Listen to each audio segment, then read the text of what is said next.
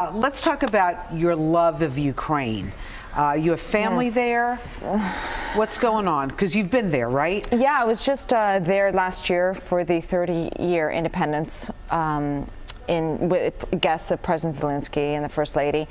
So it's heartbreaking to see what's happening. You're really is. Ukrainian, right? I The am family's there? Ukrainian heritage, yes, Right. yes. And uh, our family does a lot of work. We're from Toronto, but we do a lot of work for Ukraine. And um, I started the Winnick Foundation, which all the money goes directly to the humanitarian um, aids of Ukraine and working with President Zelensky's United 24 right now in his charity. So at least um, it's going to the right people. I was. They, I think that's what people get concerned about when they give money to a charity. They want to make sure that it's getting to where it needs to go, and not kind of, you know, in the bureaucratic uh, administration of things. Exactly. And for me, just being so close to Ukraine and having that, um, it's it's heartbreaking to see what's happening. So if anybody would like to be involved, it's thewinnickfoundation.org.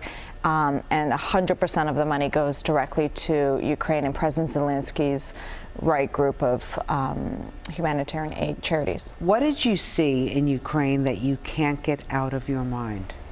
The one thing that I think would I want everybody to know is the Ukrainian people, the resilience, the determination, the strong will is inevitable and it, it, it is really remarkable. And we are seeing that right now where they are picking up arms and they're fighting for their front lines they're fighting for their territory. And that if you're Ukrainian you have a strong blood you you're fiercely independent and fiercely proud of your culture your language your heritage.